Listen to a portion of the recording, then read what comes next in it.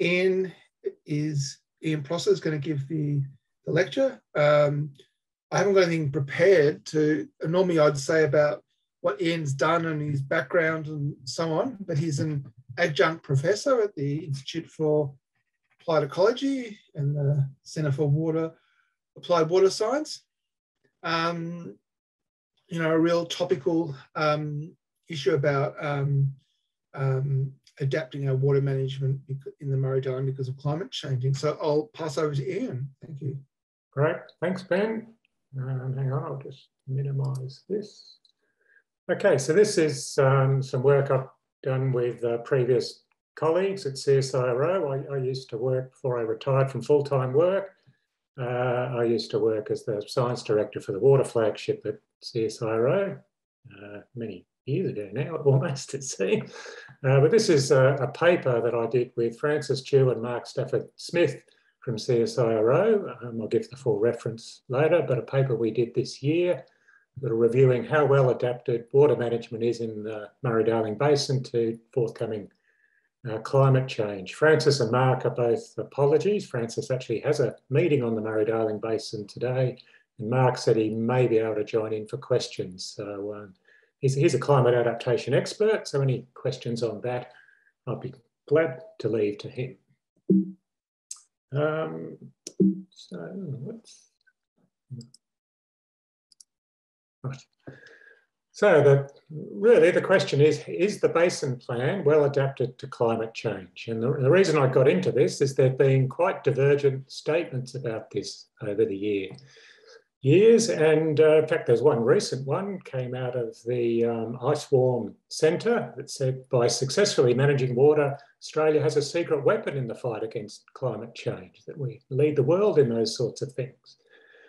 Uh, and coming out of the Murray-Darling Basin Authority itself in 2015, they said the water management arrangements provide a solid foundation to respond to a changing climate. So there's those who think we're very well positioned, but there are um, dissenting views. And others, such as a group at ANU, have said that the Murray-Darling Basin Plan fails to deal adequately with climate change.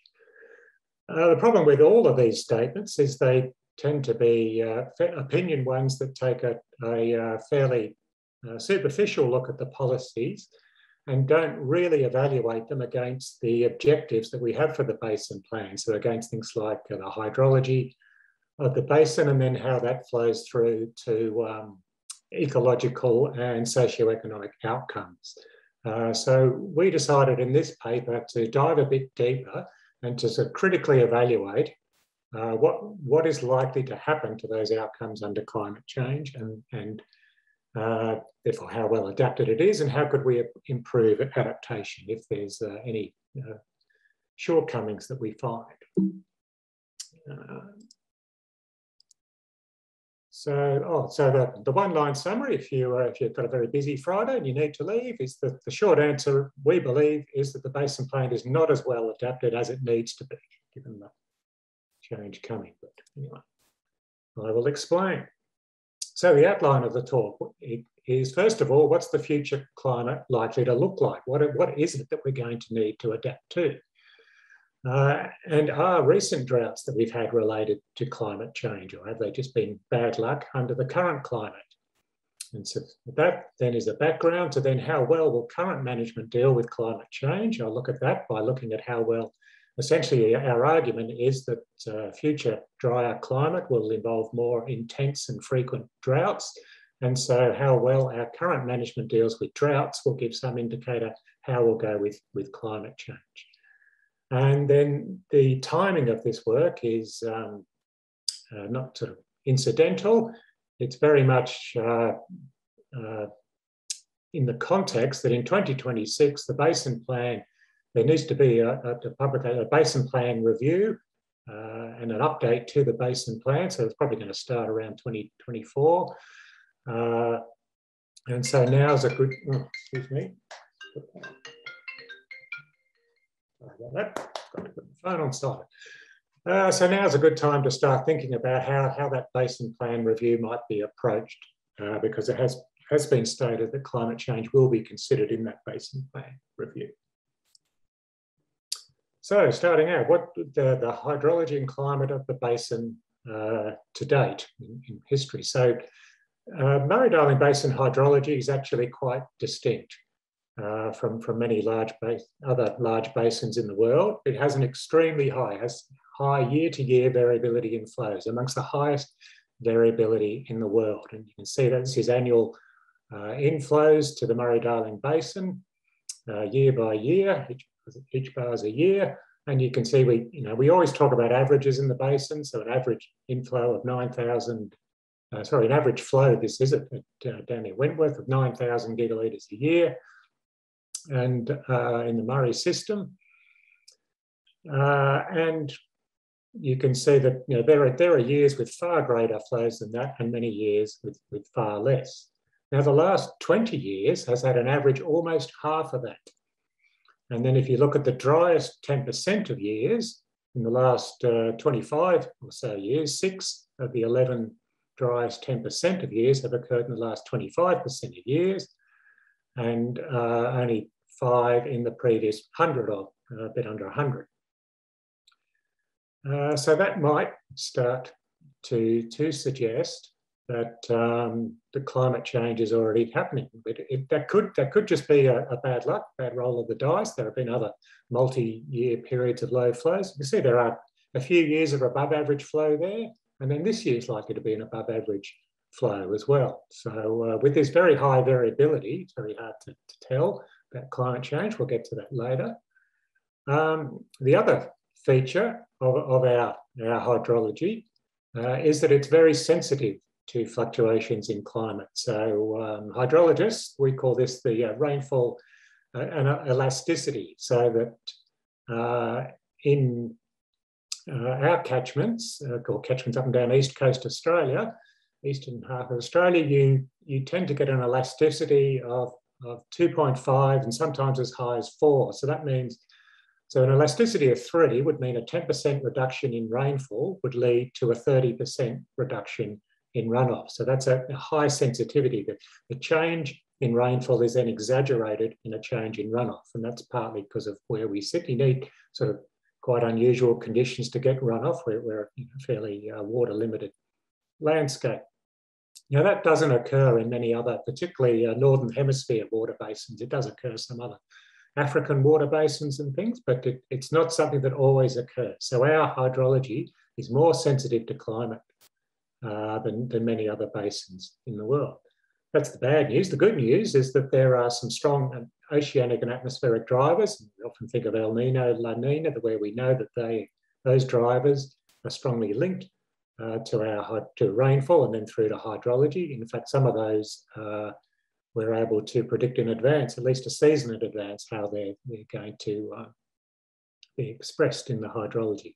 Other drivers are things like the Indian Ocean dipole, southern annular mode. There's, there's a whole bunch of uh, sort of global atmospheric and ocean drivers that drive our rainfall and hydrology. So that's that's the the background. Now, so well, getting back to this question then of, of have has that decline in the last 20 years just been bad luck, or is it perhaps an indicator of future climate change? Uh, there are some indications that it's climate change. So there have been systematic changes uh, in, in global atmospheric circulation related to global warming. So we've had 1.5 degrees of warming in the Australian continent already uh, compared to the historical climate. Uh, and one of the strong features of, of the climate is, the, is this, um, the, the, Hadley cell. So you get uh, um, under intense heating, high solar radiation in, in the tropics, uh, warm, moist air rises, then uh, travels south and north to the subtropics and descends, and that's where we get these. So the descending air is high pressure, so we get these high pressure systems of stable air, and in between those, uh, we tend to get cold fronts. So in the uh, winter months, and, and we are uh, southern Australia and the southern Murray-Darling Basin, most of the water, most of the water resources are generated by by winter uh, cool season uh, rainfall rather than the warm season rainfall. Now, so that uh, sub, so, so that's called the subtropical ridge, those high pressure systems, and the intensity of that subtropical ridge has actually increased in historical times, uh, which is the blue line there. So that's just the average pressure of, the, of those high pressure systems. And you see it's increased uh, in correlation with global annual temperature increases. Now, so as well as increasing, these high pressure systems have also been pushed further south. So this Hadley cell is bigger than it used to be. So a lot of the cold fronts and the, and the rain bearing, uh, this has been, I'm just summarising here, this has been investigated in more detail. I've just, I'm not showing all those details, but it has been shown that the rain bearing weather patterns have been pushed south of our continent and are not occurring as, as frequently in the southern half of the Australian continent. So there's some good evidence. Uh, so we, we know there's observations of, of warming, of global warming and warming of the Australian continent. And there's good cause and effect evidence uh, that that has resulted in reduced rainfall uh, through to reduced runoff. So, so that those recent reductions could be uh, indicators of climate change and what's to come. But we've only got 100 years of, of record. And if you look at the Millennium Drought, which in the Southern Basin is the worst drought uh, we've ever had, so that's the period 1997 to 2009, and you can do you know, statistical analysis of the historical record, and that shows that it does have a recurrence interval of 100 years or so. So, you know, maybe there was an element of just bad luck, or maybe it was climate change. Uh, but that's a pretty short interval to be looking at a multi-year drought like that.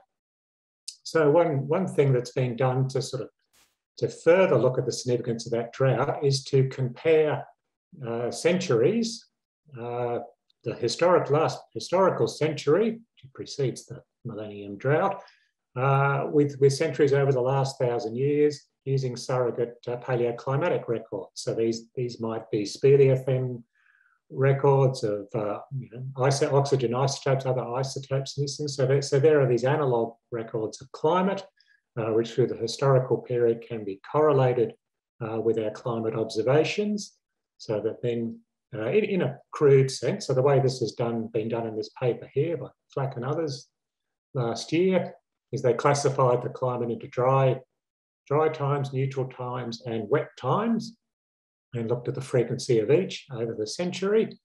Uh, and then use, so that's in the historical time, and then use these paleoclimatic records to do the same for the last thousand years. So this histogram here is, is that uh, surrogate record from from 11 paleoclimate analogues over the last thousand years. What's interesting is this, is that there is some structure to this. This doesn't, if you would, if you just think of uh, dry years as uh, tossing tails on a coin and wet years as tossing heads, this doesn't really look like just random coin toss. We had uh, 500 years with, with no dry periods uh, and some very frequent uh, sorry, no, wet periods and some very frequent uh, currents of dry conditions. And then we went into a more mixed thing, uh, 500 years, which we last 100 years seems to have been, been part of. So there seems to be a bit of structure here. But in terms of broad climate, the broad climate, and people think of the Holocene, the last 10,000 years has been fairly stable climate. Uh, so there's, there's quite small shifts in climate here. And, and what's interesting is there are small shifts in some of those climate drivers like El Nino, La Nina, and uh, the uh, Indian Ocean dipole. Uh, there have been centuries and, and, longer than century periods where, where those features are stronger. And that may be what's going on, on here. So there is quite a lot more variability uh, in our, probably in our hydrology uh, than in, in, the rainfall and rainfall of Murray-Darling Basin than we've seen uh, in the last hundred years. And now we're changing that situation. So rather than this being this sort of pattern being a response to uh, climate change, we're now actually actively driving climate change uh, ourselves, anthropogenic climate change. And so we should expect you know, similar magnitude changes here to our hydrological regime. So once again, some more evidence that if we're going to tamper with the climate like we are, we might be expecting to see some quite uh, dramatic changes to basin hydrology. So this moving then to projections of future basin hydrology. Uh, so these are projections for the uh, 2046 to 2075 period based on, I think it's, uh, I've got now to uh, in relative to the 1970 and sort of 1990 climate. You know, there's a range of predictions, but uh, the median prediction from the global climate models is about a 20% uh, decrease in runoff across the basin. Uh, the wettest uh, predictions from the models suggest it could get a, a bit wetter, or even the very southern basin, though it still comes out drier. And then the driest 10 percentile of those predictions uh, come out, it could be extremely dry, it could be 40% drier uh, than the historical climate. There's quite a bit of variability here, variability in, in rainfall predictions and runoff predictions is, is uh, inevitable. Global climate modelling is, is pretty accurate and it's been demonstrated to be accurate for temperature, but uh, you know it's much more local weather patterns and things that drive rainfall, and then there's uncertainties about how rainfall translates to runoff, and so there's always going to be uncertainties uh, in these projections. But this uh, projection of a drying of the Murray-Darling Basin has been consistent now uh, since the 1990s. So as uh, climate models get better, as we better understand the processes that generating rainfall, some of the stuff I talked about, uh, gives us much better understanding, much better confidence in these projections. Uh, but the basic projection has stayed the same since the 1990s that we're, we can get about a, at least 20 uh, high probability of 20% or more uh, reduction in runoff. Now, where that really drives impact, though, you know, people always talk about sort of median average uh, conditions, but it's the extremes that often that really matter. So this is the same projections, but expressed in a different way. This is now expressed in how frequent will uh, droughts be. So this is taking what a three-year droughts, uh, because they, they tend to be the ones that have the you know, multi-year droughts tend to be the ones that have the biggest impact on water management. So it's taking a three-year drought and a three-year drought of the intensity of a one in 20 years. So the, the uh, so you the sort of drought you might get five times in 100 years on average uh, of, a, a three-year duration. Now, so the median prediction is that that's going to increase in frequency to perhaps once every, as much as once every 10 years. So uh, it's not quite the same, but, but you could express that then as sort of three years on 10 uh, will be, uh, be dry, but it could be as bad as uh, one in five years. Uh, so a 40% reduction in mean annual uh, runoff doesn't mean you'll get that. We're still going to have that variability. Uh, and so we could get three in five years on average in, the, in the future as bad as, as the one in 20 year drought. So the other way of showing this is to project forward this uh, mean annual. So if we take back to the 1990s, the mean annual runoff to that date, what might it do into the, into the future? And see, range of predictions could stay the same, uh, could get worse. But by 2050, which remember is only 30 years away now, uh, some of the, the worst uh, predictions from climate models suggest that the last 20 years uh, could be the new median. Now, of course, on top of that, you're going to still have these red dot years. You're still going to have This sort of variability that we have, this very high variability is going to be on top of that.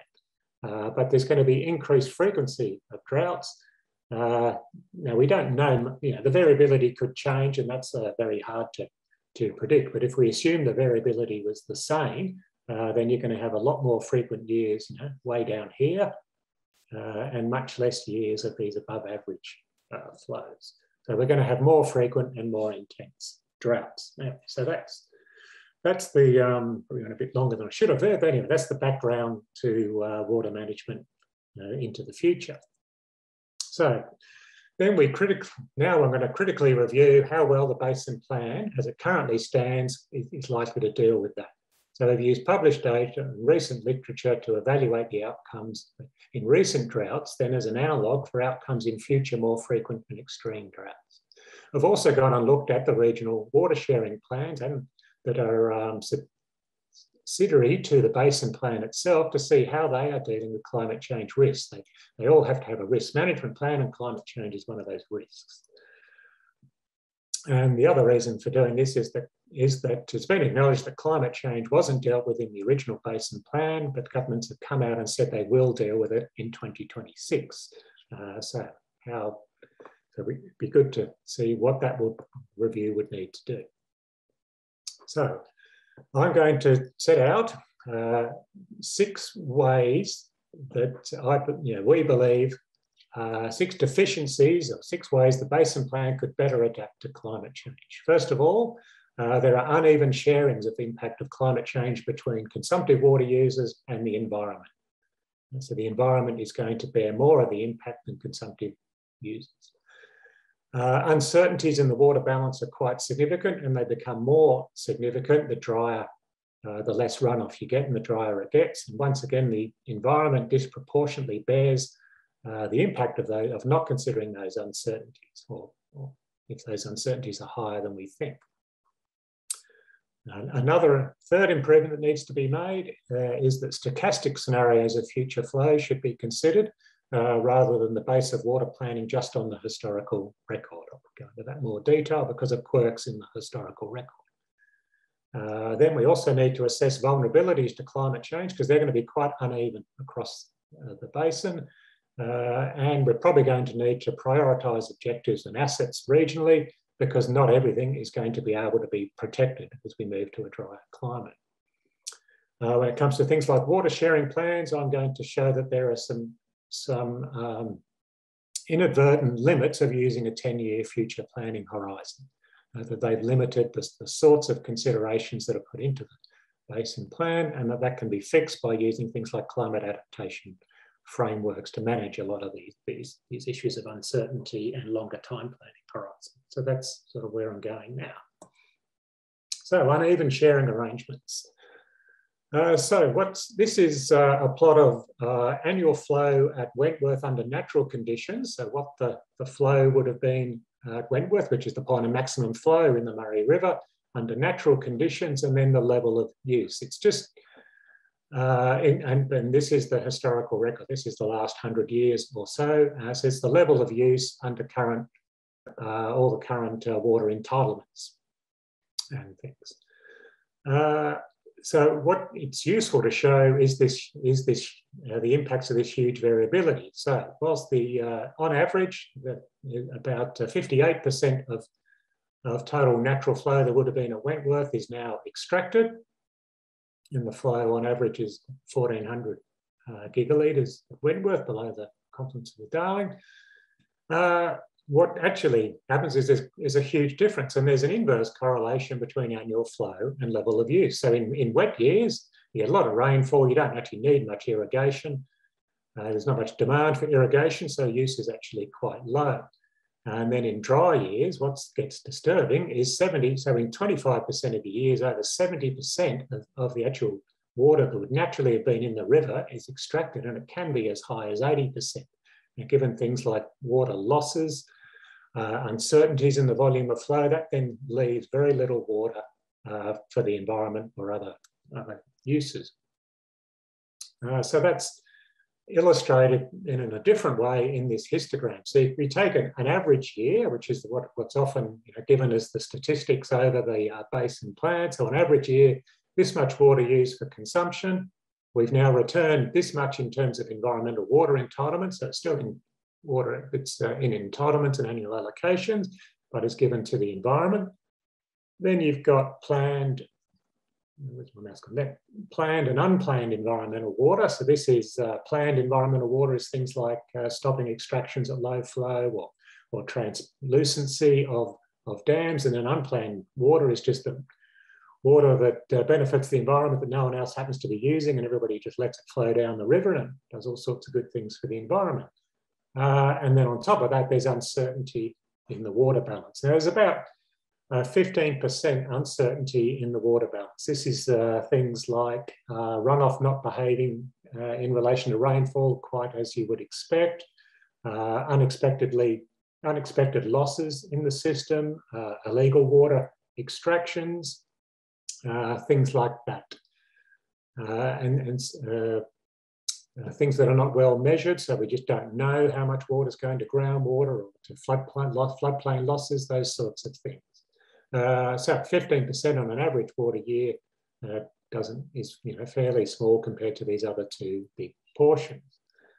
Uh, in a wet year, as I say, water use actually goes down, heaps of water for the environment, floodplain flows and things like that, great outcomes and things. The problems come into these dry years where you've got uh, 70 to 80% of water is actually being, even though only 56% on average in dry years, 70 to 80% of water is being consumed. You've got some of that is now going to environmental watering entitlements. There's very little water left uh, in terms of planned and unplanned water, just some low flows. And now things like the uncertainty in the water balance is, is a bigger term than that unplanned environmental water. So the issue is we're going to be going from this being average, we could end up to this being the new median condition or perhaps somewhere in between. So we set a basin plan setting on this, setting saying this is a fair sharing arrangement in the future. That's, that sharing arrangement is not going to be maintained and it's the environment that's going to take a hit. Now you could say, well, let's just stop, let's just make it 50%, 56%. Let's not have this uh, variation in use between wet and dry years. But that's the whole basis for irrigated agriculture is to maintain uh, con, you know, consistent water supplies uh, and, and get, get around that high climate variability, that rainfall variability. It's actually been shown that it's better to do this sharing arrangement, uh, low water, you know, more water for the environment in wet years and more, relatively more for the users in dry years actually benefits both uh, water ecosystems and uh, consumptive use of water. So you don't want to really get rid of that, but that works. So that, that's our sort of annual allocation regime. That works. That's a fantastic adaptation to a variable climate, but it's not a great adaptation to a changing climate. So we've got to think about then, do we have to sort of reset this balance to a drying climate. And I'll, come back to that later, but that's the, that's the fundamental problem that under a drying climate, our, the sharing arrangement we set up under the basin plan is going to be eroded. Okay, the second problem, limitations of the historical record. So the way water planning is done at the, the moment is we use this record back to the 1900. We, we test water management arrangements, so water sharing plans and things uh, in each state, and the basin plan itself was tested against this 100 year period. The, the logic being that we've had so much variability of flows that if something can work throughout this period, it's going to work under pretty well any circumstance because 100 years is a, you know, it's, it's picking up all the climate variability. You'll have extreme droughts, extreme wet years. You're going to figure out uh, what works and what doesn't work. Turns out that's not true. Uh, so, for example, uh, this is some work that uh, QJ Wang and others did at, at Melbourne University. Uh, so, uh, this bar here, uh, so this is a good, medium, intermediate, poor, and, and critical out uh, conditions of Barmah forest in relation to, to uh, its flow requirements. Uh, so, these are flood replenishing flood flows here in, in asterisk. So, this is the historical record. And you see, going into the millennium drought, there were a couple of good floods, but there was a, a, a gradual diminishing of the condition of the Barmah forest. Uh, so if you're just doing the historical record, that's the sort of history of condition you'll get of the Barmah forest and how resilient it is to something like the Millennium Drought. The problem is that was very much reliant on getting this replenishing flow here. So if you run a stochastic se sequence with the same variability and uh, median condition as history, you can get some quite different outcomes. If that flow there is delayed all the way to here, then the condition of Barmah the forest goes into poor, uh, critical conditions, uh, poor conditions much earlier and for much longer. Or if that flood was later, you actually get less. Uh, you, the, the condition coming out of the millennium drought is actually much better uh, for the Barmah forest. So it, it, does show that the historical record has all sorts of quirks in it, and we should be using a, a, a much more probabilistic basis for look, uh, because the problem is once something's in critical condition, uh, and once something's gone and extinct, it's going to take a long term time to come back. So you want to be avoiding these circumstances and understanding their probability. Now the same occurs for consumptive water use. Much much has been said about how well water trade worked in the Millennium Drought. So this is an uh, example. So for all of, of the outcomes for uh, irrigated agriculture in the Millennium Drought, So there was uh, only 30% water use reduced to 30% in the Millennium Drought of the long-term average, but it, the value, the gross value of irrigated agricultural product, only um, production only reduced by 20%. And I said, that's all because of the, you know, we allowed water trade, uh, people uh, had incentives with the water price to become more um, efficient in their irrigated agriculture areas. All those things occurred. But what's often not, not said is one of the, you know, well, there's two things to point out here. One is, whilst that overall outcome is great, uh, it didn't happen everywhere for, for all sectors. So rice still took a huge hit. Uh, irrigated meat industry took a hit. Dairy uh, took a bit of a hit as, as well. Cotton took a hit, annual crop. That was then balanced by some other products which actually increased in gross value. Well, why would that be? So that's partly because there was a, a, uh, a situation in the Millennium Drought that the global prices for these commodities was very high. And so that's partly what mitigated uh, the, the problems of the Millennium Drought. Now, once again, a bit like the environmental example, not, you're not going to hit that happy coincidence in all future droughts. So another reason why you'd want to do a statistical analysis uh, and, and look at once again, what's the probability? And it's the same as the environment. You know, once, once particularly for these permanent crops and things, once something fails, you're not able to keep that crop going, or, or the business fails because it doesn't make any money for a few years and the, and the banks close it. Uh, once again, it's hard to come back. So anyway, so just relying on the historical record uh, isn't good enough. We should be looking at future climate scenarios, but not just scaling the history. historical one. We need to be doing that stochastically. Okay, the next thing is we then need to be looking at these vulnerabilities to change, and they're going to be different across different uh, regions and different uh, different uh, water use sectors or, or, different sectors with interest in, in water. Uh, so in uh, so this just uh, some environmental assets, for example, some of the major assessed environmental assets that went into the basin plan, things and a, and a whole bunch of others. Uh, their vulnerabilities to climate change are going to be very different. We probably don't fully understand those yet. One, one example is high floodplains, uh, which, you know, which, require occasional uh, high magnitude floods, particularly things to, to, do things like flushing out salt that accumulates on them.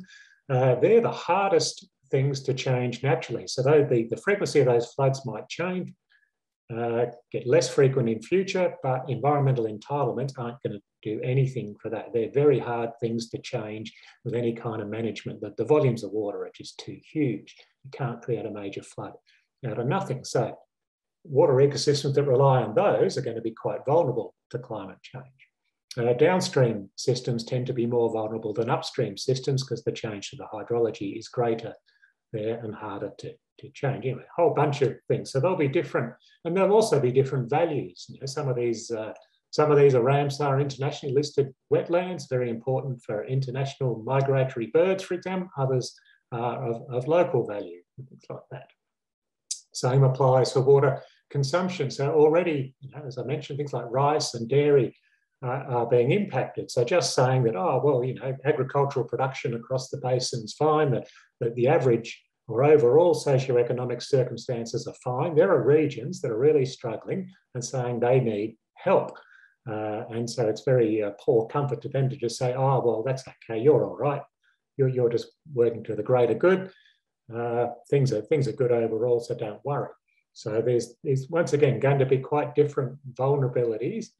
And then the other point is, is on things that uh, not all water uses are even well managed under the current sharing arrangements. So Indigenous water use, for example, places like the Gwydir wetlands, uh, which have you know, quite high indigenous value, uh, um, and there, but there is nothing in the current water uh, management arrangements that reflects that. They're going to be more vulnerable in the future, so we even need to catch up our current management, let alone uh, to, to drier conditions to be managing all interests uh, evenly. So we, we are going to look at vulnerabilities to change and they're going to be quite different region to region.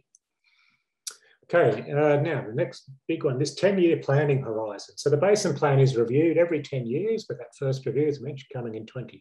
26. And then underneath that, the states have their 10 year uh, regional or valley water sharing plans.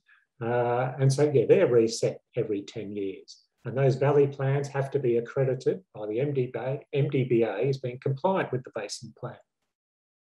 And all of those plans have to include a climate change risk. So you can look at that and say, well, this, this is fantastic. Adaptive management is it's actually legislated. Plans are adapted every 10 years.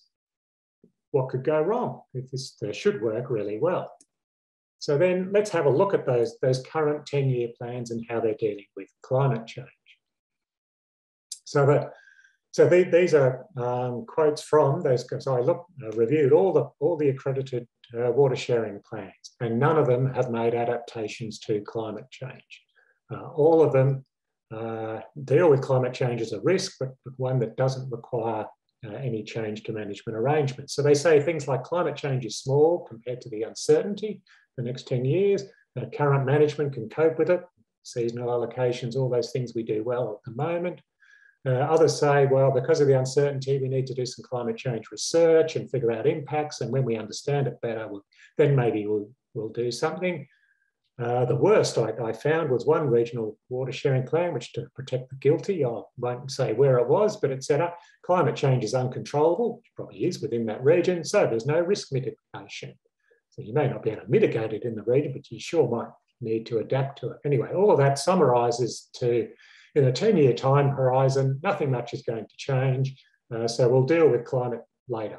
That's the, the, the, basic policy response in all of those uh, water sharing plans. Now, the fundamental issue with that is you could iterate that. I mean, all those statements are true. It, climate won't change much in the next 10 years, and there is uncertainty and, and there's huge year to year variability. So you could iterate that, you could make those same statements in each 10 year review of these plans for the next century. Meanwhile, so you can just say each 10 years, mm, not much going to change the next 10 years. So meanwhile, the basin is completely transformed, both in terms of climate and a whole bunch of other things. Uh, and, and meanwhile, the water plans have not changed. So um, is, there, is there a chat message? Um, yeah, all right, I'll deal with questions at the end. Uh, I'll get rid of that. Right. So now the other, so anyway, so there's a problem of just taking a 10 year time horizon, which you need to take longer. Now, the other problem with taking a, a 10 year is saying we're going to adapt the plan every 10 years is that if you remember back to that first basin plan, it took more than 10 years to do. That It was a really substantial water reform. Sort of uh, summarized humorously here in a, in a cartoon by Kudelka. Now, do we really want to go through that major transformation every 10 years of, of completely revisiting what the balance is between uh, water consumption uh, and water for the environment? It, it, takes about 10 years to go through that process.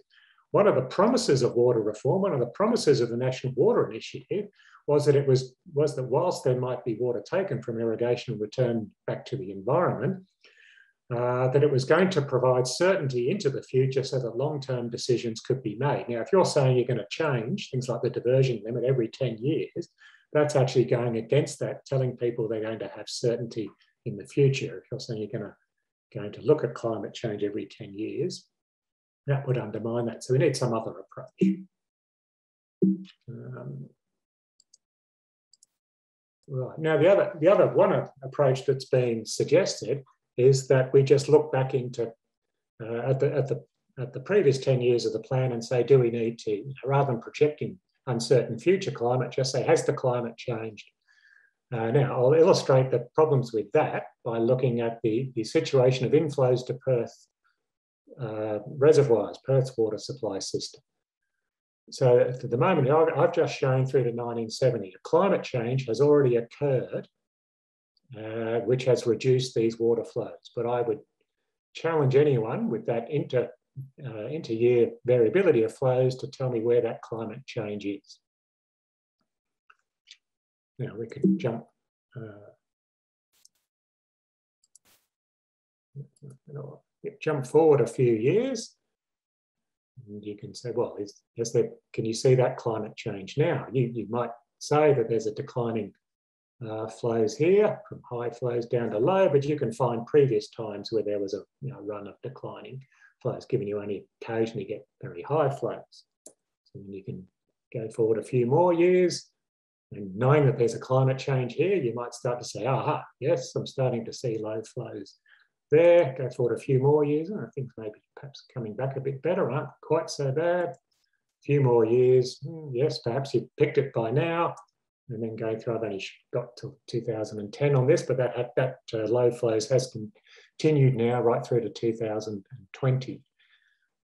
So that the flow, the, the climate changes, uh, the flow actually started, statistical analysis shows that it started back here sometime in the early 60s, that climate started to change, even though some people draw it as a step change in 1975 just because of, because of that.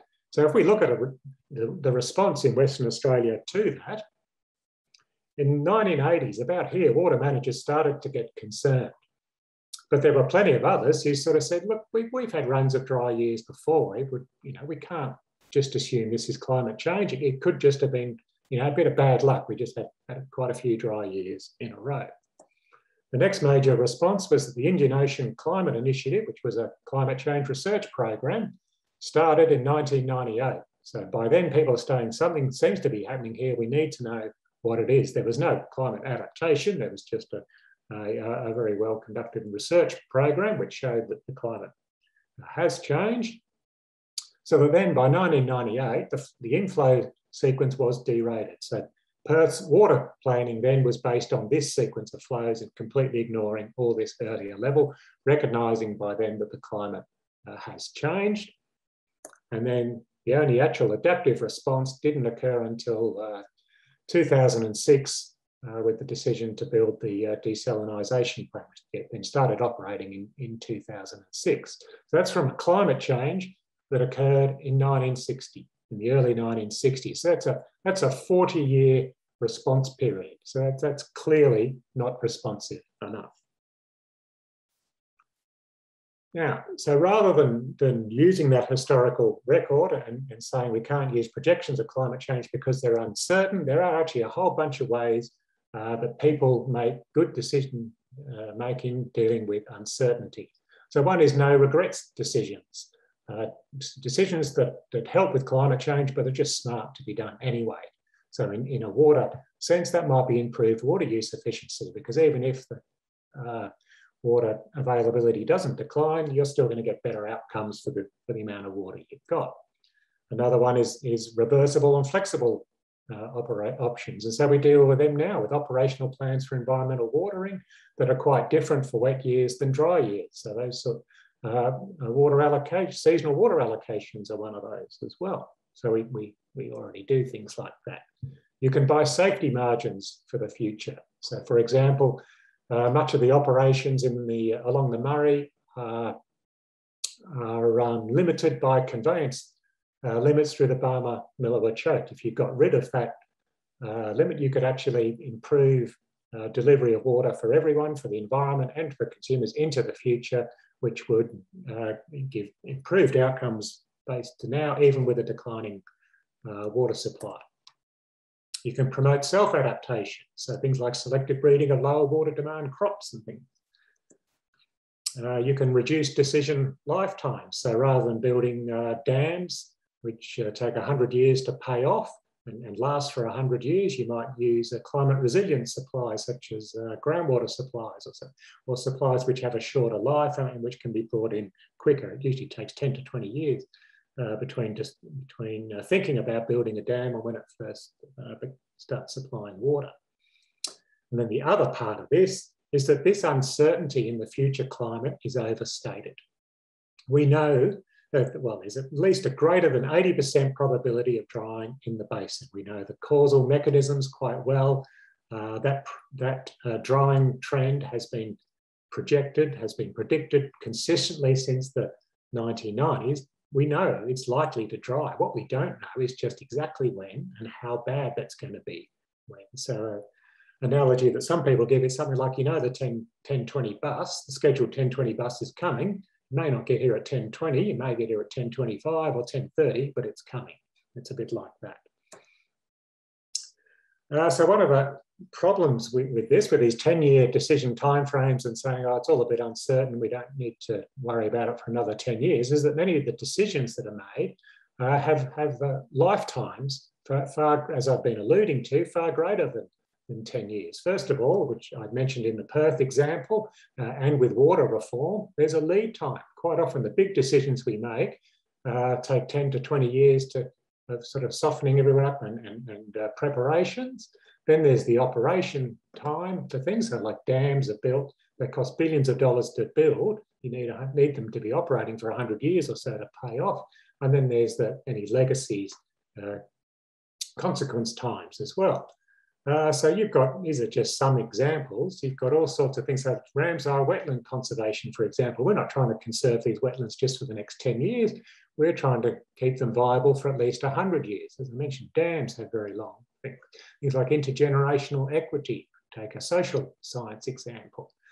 Um, irrigated tree crops right, need to be uh, given a reliable water supply for at least the next 30 years. There's already analysis suggesting that the big expansion in almond crops probably can't be sustained once all those crops mature uh, in drought years.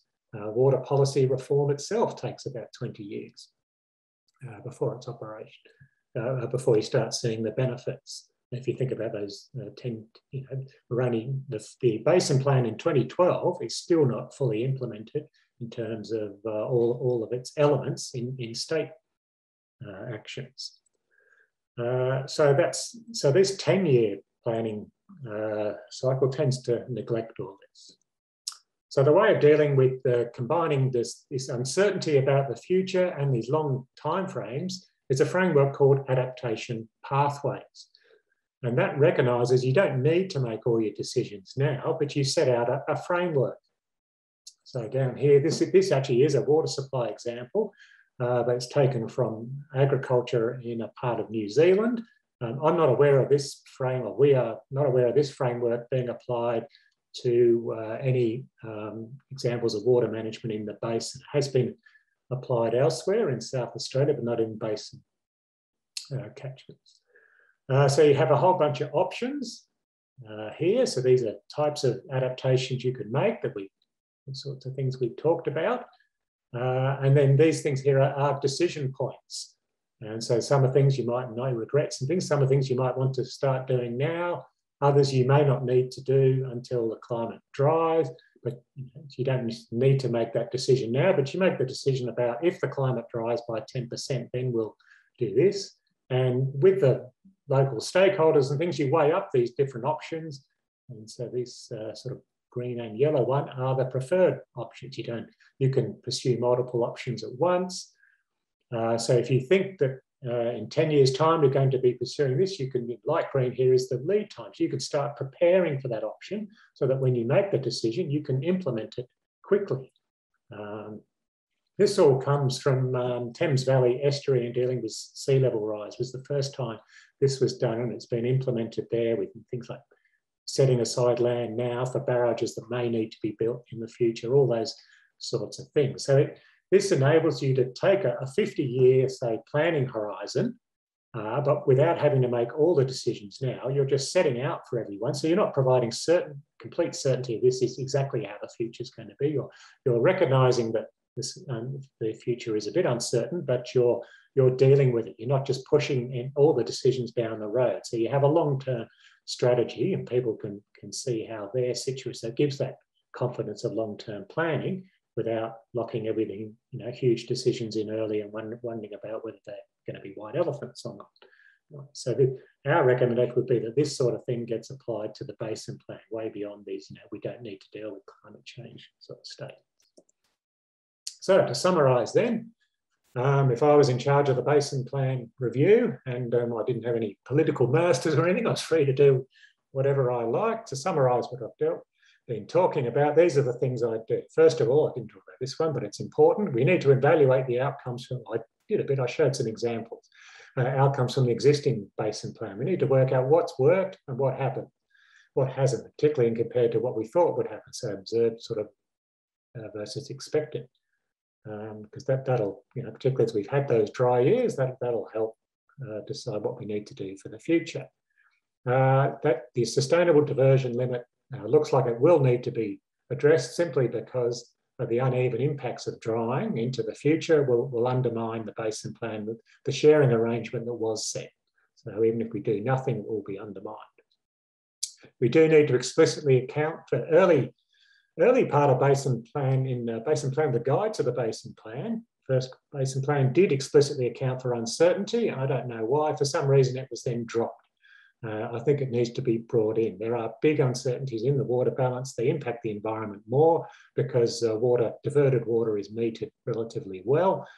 Uh, and so that needs to be incorporated into either reduce those uncertainties or incorporate that uncertainty into the analysis. We need to be using multiple stochastic scenarios, and some people are starting to use these in water planning now, and projections for 50 years into the future to identify what some of the risks might be and what the probabilities of those risks might be. We need to assess vulnerabilities. Uh, probably are going to need to prioritise assets. We probably can't pretend 50 years into the future that we can protect everything uh, to the degree that we're trying to protect it now. One I haven't talked about, but it's a others have identified as a common problem with water plans, is that their objectives are not specific and measurable so that the vulnerabilities are not obvious uh, and, and you can't uh, properly assess whether you're actually meeting the objectives because because they're uh, expressed in such vague ways, such as uh, avoid degradation of water environments, uh, that you can't actually tell uh, whether you've achieved it or not. Um, so as well as, I'm not saying we get rid of 10-year water sharing plans and things, have them longer, but as as well as then, we do need to have a 50 year uh, time frame for planning, and we need to look at what are some of the options. What's uh, using the stuff I talked about above, uh, work out you know what what is the what is the trajectory for the next 50 years, and what are the sort of evaluate the future options and which are uh, most attractive, and what needs to be done now to uh, to um, help facilitate future choices. Uh, then the other thing, we need to do all this regionally. Uh, so one of the problems with the, the, first basin plan, it was it sort of pretended to, you know, looked at the whole problem globally.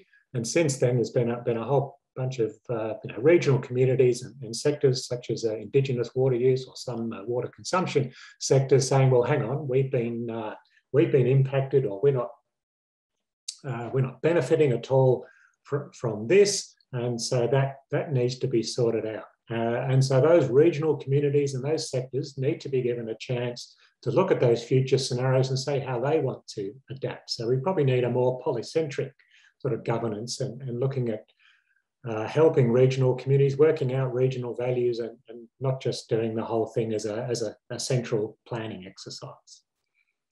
Okay, so that's, uh, that's our review of adaptability of um, the basin plan uh, to climate change, which says there are some good things, but there's uh, quite a lot more needs doing. Uh, so that's all in a, in a paper in uh, the journal called Water, International Journal of Water, which is coming out uh, next week. Okay, thanks. I'll stop sharing. Thank you, Ian. Thank you, Ian. Any questions, anyone? There's a few hands going up. I think Ross has got a question. Is that right, Ross? I have got a question. Um, thanks, Ian. That was um, both uh, super interesting and extremely terrifying. Um, the um, social research that's come out, I think, just this week or late last week, was suggesting that only 20% of people now believe that the basin plan is adequately managing water. Yeah. But I guess my fear is that the, the other 80%, 40% think we need to put more water aside for the environment, and 40% think we need to put less water aside for the environment. Yeah. And so, although people are universal and not liking what we have, how do we find some common ground to generate something to go forward? Because there really does seem to be a sort of a universal dislike of the plan, but a lack of a consensus on what a replacement plan would look like. Uh, yeah. Well, I, am not sure. That's I mean that's the tough one. I mean, it, it occurred to me even in the first iteration of the basin plan. I thought, yeah, great that they were doing it, but I thought this is a crazy exercise.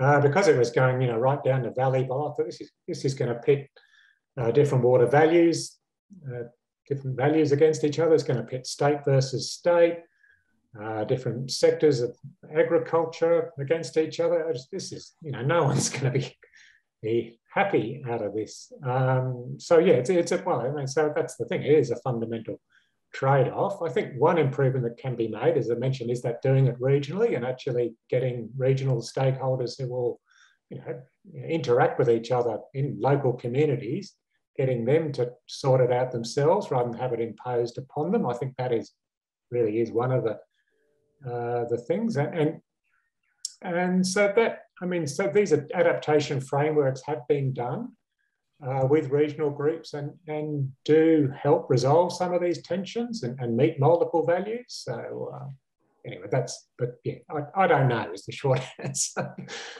if I can do a follow up, I guess my concern about taking it to a, a valley by valley level is that what that will inevitably mean is that people at the bottom end of the system won't get water because people at the top end of the system will say we need more so the reason, that, as you well know, the reason yeah, that it was nationalised really was because you're trying to manage uh, local pain yeah. for gain. Right, Yeah. So, so what I mean is, I, I guess I, I, haven't really, you know, thought through this yet. I'm probably there's probably better policy people than me. Uh, I didn't just want to say here are all the problems, someone else fix them. I did want to. responsible, but I, I, guess what I was thinking is that you, so you need the, the, the the basin authority to set some overall dimensions that says, look, you know, overall, uh, we, we need to be, you know, because of this problem of uneven sharing of, of, the impacts, we need to be returning more water to the, you know, environment and, and to, to say something about what the national and international priority ones are. So providing some sort of uh, national, you know, basin-wide overview. And, so that, that way saying we need to look after downstream users. And then within those broad dimensions, then say, so this could be, you know, so you, you could get this little water, you know, perhaps give them several scenarios and say, how would you deal with that? And, and you know, what would, first of all, what would that impact be? And then, you know, so, so then complement, so if, if a region is going to be, uh, you know, there's all these wonderful terms like structural adjustment and things like saying, acknowledging that and saying, okay, well, you need some help. You need some help transitioning out of your current uh, situation to, to something new. That's going to take time and take resources. That's got to be all part of the, the program. So Dwayne had his hand up before, but I can't see him. Are you still there, Dwayne? Yep. Dwayne, go ahead. Um, so I was curious, Ian, about the um, the different implications of stochastic risk versus that sort of long-term trend, and whether you can actually balance off one versus the other. So uh, for example, if you if we if we've been looking only on that hundred year time frame, um, and we don't actually really understand what the next ten years could provide, even with outside of a climate change scenario, um, how much do you think uh, dealing with that sort of um, the potential you know, risk over the next ten years could actually help mitigate the, those longer term changes? Uh, well, not well. I don't know, not particularly well, because I think uh, you there, there are a whole bunch of longer term things. I, I really think you have to take a longer term planning horizon. There, there are a whole bunch of things we're doing under the Basin Plan and other related programs which have a, uh, an implicit life far greater than 10 years, but we haven't actually looked at whether if you take a longer than 10 year time frame, they're sensible. Uh, and even, you know, things like farmers do that. I mean, so you end up locking things in so that uh, things like general security water entitlements, you know, the, the, the, annual allocation varies a lot, but there's an implied security uh, uh, from history that, that people are expecting to be maintained into the future. So you're setting up expectations all the time by saying, oh yeah, we're just going to try and continue things for, for 10 years. I, I think we've got to start moving away from that. Now, I noticed Mark Stafford Smith's joined us now. So um, I'm a hydrologist and Mark Stafford Smith's the climate adaptation expert. So I quite welcome Mark to answer uh, wherever he feels like it. Um, and there's a little lovely, oh, there's a little conversation going on in the chat, which I think already covers what, what I'd say there, which are good points. Oh, okay. Yeah, I should open up the chat. maybe let's go to um, look at the chat chat afterwards, but maybe let's go to Will's also got a question. Will Higginson. Will you want to go? Yeah, thanks, Ian. That's a really, really great talk. Uh, my comment, my question is around the disproportionate impacts on the environment, particularly during dry years. I think uh, this is very true from the stuff that we've uh, found in the Lachlan River. We've compared model natural with current flow conditions, and we've showed that even during really dry, dry years, where the, where the river would have ceased to flow for a lot of it, we still get floodplain inundation because of the, the, the natural way that the river would have been, been a bit flashy. Oh, yeah, yeah. And under a current flow condition, because the, the dams are low, water, need, uh, water needs of, of humans, these do not, do not happen these, these smaller flooding events wouldn't happen. And these are really important for the lower lying parts of the floodplain to, to keep these communities going. So how do we address this issue during dry years where the, the, the human need for water is, is high and obviously it's going to in, increase in um, importance um, under a drying climate? Yeah, how do we, we, we address the issue of the disproportionate impact during dry years when there's only so much water to go around? Uh, yeah, well, once again, I I'm not sure. I, I, think you need to look at those specifics. So I guess what we're saying is it's the dry years that are really going to matter uh, because that's when water management is most under stress and also when the impacts are greatest. So you'd need to look at those and then look at, well, what do we need? You know, can, can you can you introduce a better translucency into reservoirs, for example, uh, or you know, or, or, or uh, the environmental can environmental water entitlements do it, and, and if so, do you just need some more, or you know, I, you know, so I, I don't know, but, uh, but the first point is to is to understand this problem better, work out its you know its characteristics. So I guess what I'm saying is these details and focus on the dry years is is what matters. Hmm. Is there another question from Peter Unmat? And I'll, I'll, there's also chat in the exchange, but the, it looks like no, it's not really quest- questions I, in I noticed Mark's Mark's dealing quite well with the uh, yeah. with so, the chat. Uh, so let Mark deal with the chat, and I'll I'll deal with the uh, questions. Okay. Okay, Peter, do you want to go ahead? Yeah, thanks. Great talk. Um, it, this might be a little bit left to center here, but it seems like in the in the popular political circles, the, the current solution is make our dam get create more dams and make our dams bigger to capture these rarer high rainfall years. So they've got a bit better water security for the years after that. Um, I don't know, you got any thoughts on that sort of strategy? I mean, one issue I see is they had all the dams full in 2016 and then three years later they're all empty. So yeah, it seems like whatever water you give them, they're going to use and they're not going to store it away for five years, three years in the future. So I, I don't know, you got any thoughts on whether that's yeah, well, so, so, the first thought would be so I, I, was involved on a technical assessment panel for the National Water Infrastructure Development Fund, which was looking at things like new dams and other large scale water infrastructure to improve water supplies. And I couldn't believe the number of proposals that came there. Uh, that they all talked about taking at least 30 years to pay off because it was big money, billions of dollars. And yet, very few of them looked at whether there was a payoff under a future climate. So that's, yeah, that, I mean, that's the point I was trying to make. That's the, the risk of that strategy uh, is that they, they may be, you know, white elephant, they may be empty dams. They may not, may not help. So I think you, you've got to, you've got to look at uh, the full life of that infrastructure and, and is it sensible under the conditions that it's likely to experience? And, and oh, the other thing I just, it's a, it's anecdotal, but uh, we were told at CSIRO in that decision to do the desal plant that apparently there was a cabinet meeting where they were looking at dams. They were looking at building another dam for Perth. And then someone uh, broke through that conversation by just saying, we, we, they said, we have six empty buckets. We don't need another bucket. We need water. And so that's why they then went to a climate resilient thing. And then people you know, talk about all sorts of things against desal plants, but but they're, they're probably better than uh, empty dams. So uh, I do realise where we are over time. So if people have to get going, do so. But there is one question from Neil. Um, um, Neil, if you want to go ahead, and if people need to leave, then then that's understandable. Hi, can you hear me? Yep. Great. Uh, Neil Lazaro here from CSIRO. Um, great talk, Ian, and, and thanks, Mark and, and Frankie, for contributions to the paper. So um, I had a question, lots of questions, but I guess relating to, you know, this question ultimately of structural adjustment. So nationally, we've got a commitment to a $100 billion um, agricultural industry.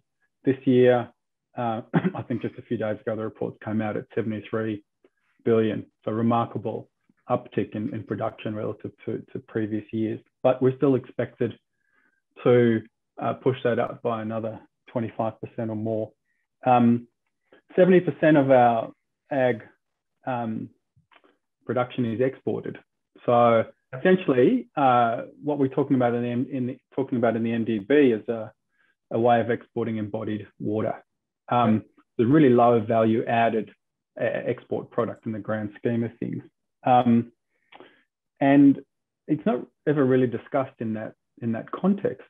Uh, you know, there's lots of other things we can export which are much higher value added and, you know, probably per liter of water get a much higher return on investment. So I think if we're if we're thinking seriously about structural adjustment, uh, you know, the, the policies and some of the work coming out of out of UC, out of NatSem in particular, you know, really talk about the ineffective and disjoint, uh, disconnected way that that structural adjustment and economic and social policies in the MDB actually relate to the yeah. primary industry sector and community. So I think there's a lot more work to be done in that space.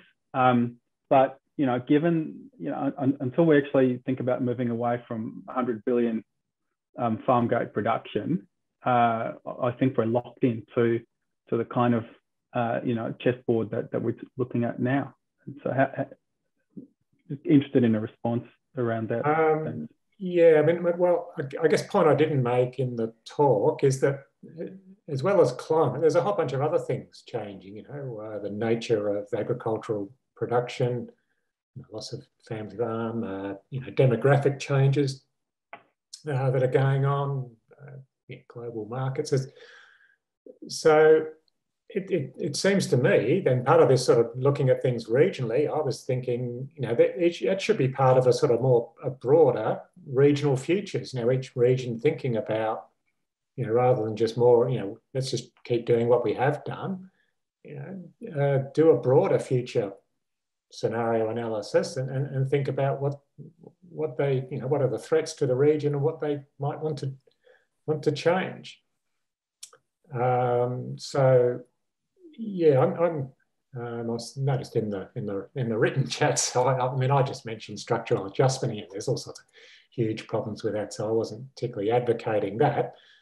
But all I'm saying is is that uh, that, that, there should be you know, some sort of uh, regional, uh, you know, some sort of sort of policy on regional futures that, that complements the water one. So what one thing that people have said is that the, uh, getting back to Ross's first point, is one of the reasons the basin plan is, is so unpopular. The basin plan actually gets blamed for a whole bunch of things that it has nothing to do with, simply because it is the most prominent plan out in those regions.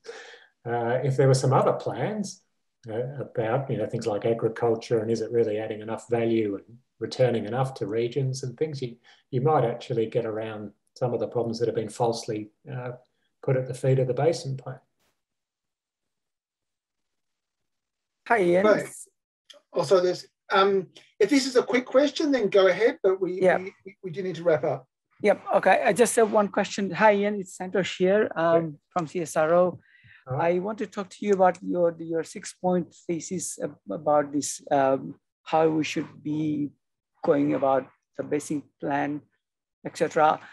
I think there those the two points in them. Uh, the, the, the thing that you talked about is uh, stochastic prediction as well as the how do we uh, adjust to the climate change. That we are also kind of a binded by the lack of science, lack of the, our ability to do things. For example, in the case of stochastic um, prediction, you know, if you want to do it in a probabilistic way, as you said, you would have to come up with a probability, and that probability would have to come from your old data, your historical Oh, data. yeah. Yep. So, um, and with so, so what you have known in the past is the only that you can project in the future. You can't kind of uh, come up with some Yeah. crazy. I mean, I, I agree. So there might be some limitations to it, but it's if but the counterfactual is is not doing it at all, just using the last hundred years and saying that's a good enough test. So you could, um, you know, be you can relax various as- assumptions, but you know what I'm suggesting is one is that the precise sequencing of events that you saw in history is something you might want to relax. You might still want to keep the variability that's there uh, and change the mean and things without you know relaxing everything and then asking yourself, you know, as you're saying, so what's your basis for that? What knowledge do we have? Uh, so rather than just becoming completely indeterminate, uh, I'd just say we should be doing something a bit more than looking at the, the, the last hundred years. Yes. Right. Mm. So um, I, I have to go look after kids. You guys can keep chatting. Peter, can you, Peter, can you manage the um, questions and discussion, please? Sure, happy to. Thank Yep. you. Can I have one? I'm thanks, happy to stick around for a, a few more minutes. Yeah. Yeah.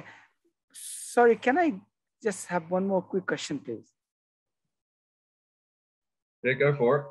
Yeah, uh, Ian, you also, you know, we when I was talking about the limitation of our, our science, I also wanted to um, refer your third or second slide, which showed the future projections, and those varied from plus 40% to minus 40%. You know, one of those graphs that you, you plot that you showed, the second or third plot. Given that kind of uncertainty, how a planner is going to plan, whether it's just like saying, I want to plan for my future superannuation and and and the prediction that I have is that you die at, at 60, between 60 and 90. So with that kind of projections, how can I plan for my future? Oh, that's uh, yeah. So that's a good analogy because people, because your future super balance is very uncertain. You don't know what your future earnings and what your future, uh, you know, returns on your investments are going to be. And there's quite sophisticated ways that superannuation schemes deal with that. And and you would make your own uh, investment decisions about, you know, are you going to put all your savings into super or something else? So, so uh, yeah, there's huge uncertainty in all aspects of, of life, and people have quite sophisticated ways of dealing with that. Um, and so we need to have that similar level of sophistication in water management rather than, to be honest, what they've said today is, I don't know what the future is going to be like, so I'm not going to deal with it. But those who are telling us about the future are giving us such a broad range that it's unworkable. It's well, no, I don't believe that. I, so one thing, so whilst there's a, a large range in predictions, uh, there is a say quite a high probability that it's getting drier. Uh, and then the other thing on, on top of that I didn't talk about is the consequence. So that there are two mistakes you could make. You could overreact and pretend, uh, you know, things are going to get very dry and overreact to that and sort of limit water use or something or do a bunch of things. Or you can underreact, which is what's tend to happen to date. The consequences are very asymmetrical, I think.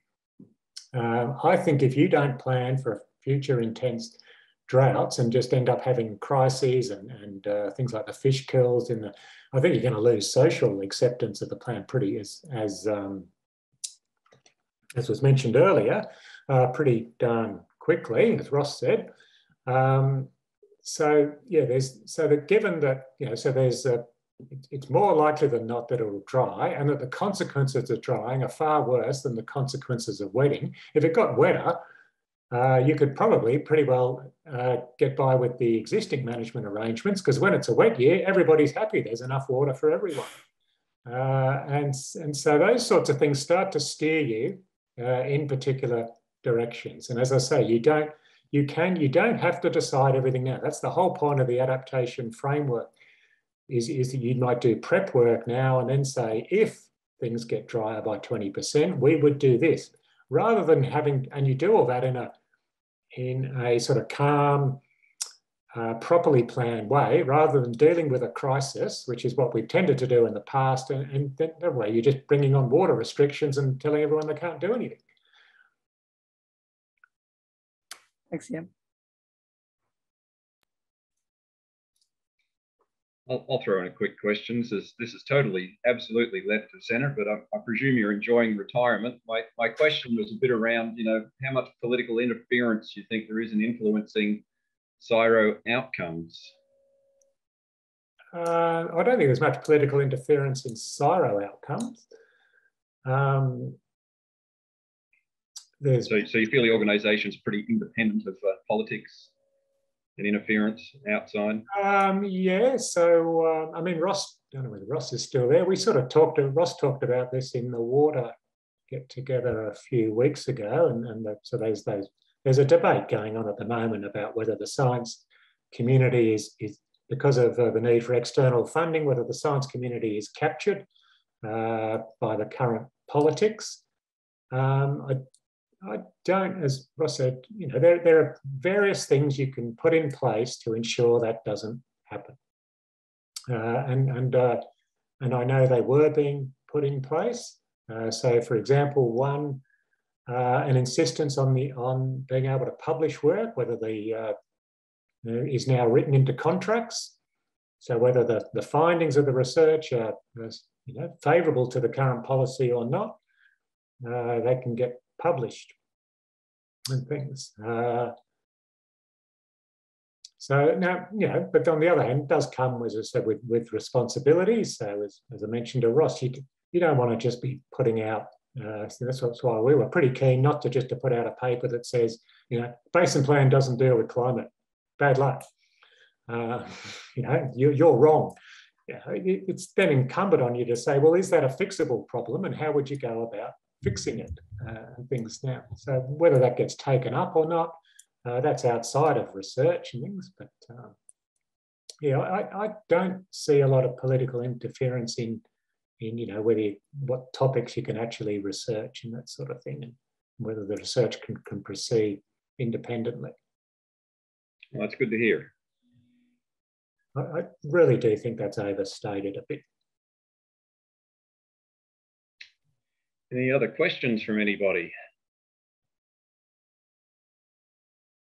I suppose the other side of that is, is I think as in that debate we had as Ross and um, Fiona both pointed out, what the problem is why you don't see that is a lot of those is it's often sensible to have those difficult conversations about, say, how well adapted a basin plan is or something to climate change it's good to have those. Uh, you don't have those conversations through social media or, or, the mainstream media. If you really want to make a difference, uh, you go and have those conversations with the managers, and you, you, might.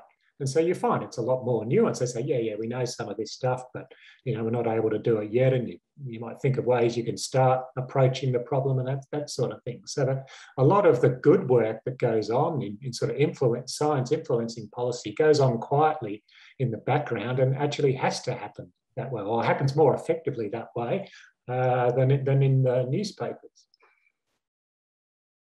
Anyway, that's, so that'll, that'll do. All right, well, thanks everyone. Glad, uh, thanks for that uh, debate, that was very good. Thanks very much, Ian. That was a wonderful presentation. Uh, I think yeah. everybody thoroughly enjoyed it and we really appreciate your time. Yeah, okay, thanks, bye. Thanks very much. Thank Bye -bye. you, Ian. Bye.